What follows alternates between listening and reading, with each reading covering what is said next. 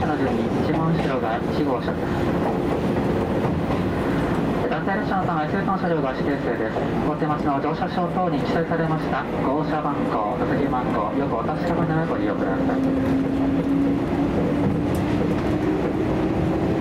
お手洗い。は6号車後ろより4号車前より2号車前より1号車の前よりにござい。ます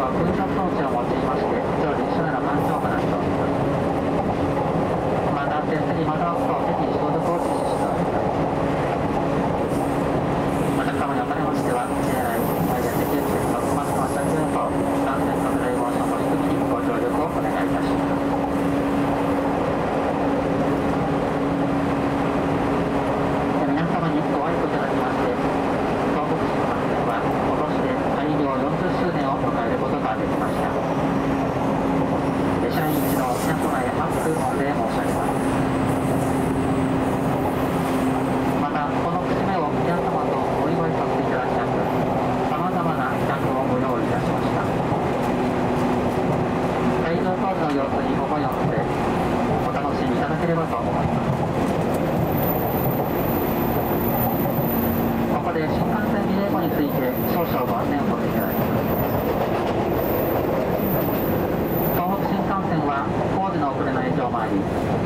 1982年6月23日に大宮盛岡間で暫定開場いたしました。上野方面から新幹線を通利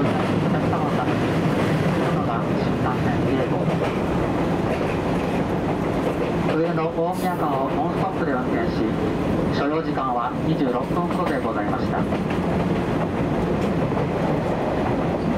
そして車両には当時最新鋭でございましたこの185系電車が主に使用されておりました。新幹線リレー号の185系と申しますと緑の横帯が1本入った塗装を思い浮かべる方が多いかと思いますご乗車いただいておりますのは緑のストライプで踊り子号などでおなじみの塗装の車両でございます。あまり知られてはおりませんが1985年の東北新幹線の上野改良間近踊り子号への転用を見越して塗装を変更した車両がリレー号にも使われておりました。そういった意味では本日のリレー号は短い期間に見られた貴重な姿を再現したものと言えるのかもしれません。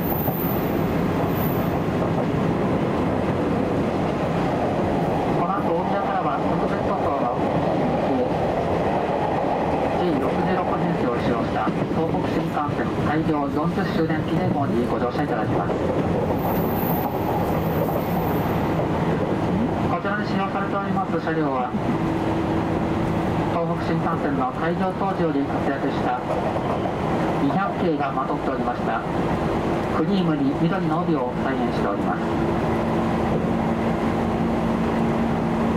川崎盛岡より北鉄色特急列車八海号にお乗り継ぎのお客様もいらっしゃることと思います。こちらは現在稲坊号などで活躍している E653 系電車に時代の特急型車両がまとっておりました。赤とクリームの塗装を再現しております。どちらも懐かしさのある。しかしながら未だに馴染みの深い塗装を布告しております。国鉄時代の情緒あふれる車両をどうぞお楽しみください。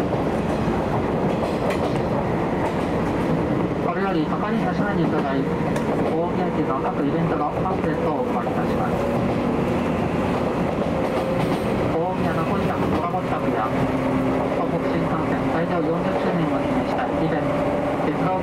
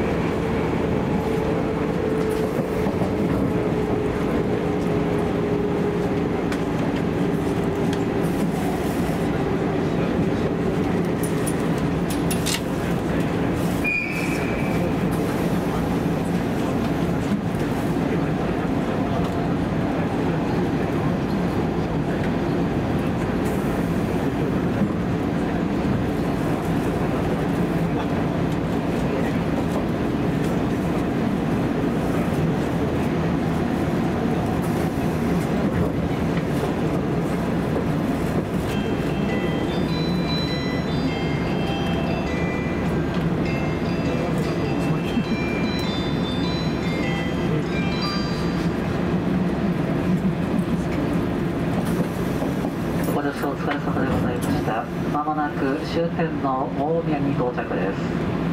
7番線の到着お出口は右側です。車内にお忘れ物落とし物なさいませんようご注意ください。大宮から東北新幹線開業40周年記念号は新幹線ホームの16番線から10時33分の発車です。ご利用のお客様お乗りお乗り遅れのないようご注意をお願いいたします。なおこちらの列車で参りますと終点盛岡にて国鉄色特急列車初開号に連絡いたします本日は新幹線リレー号にご乗車いただきまして誠にありがとうございました。まもなく終点大宮終点の大宮に到着です。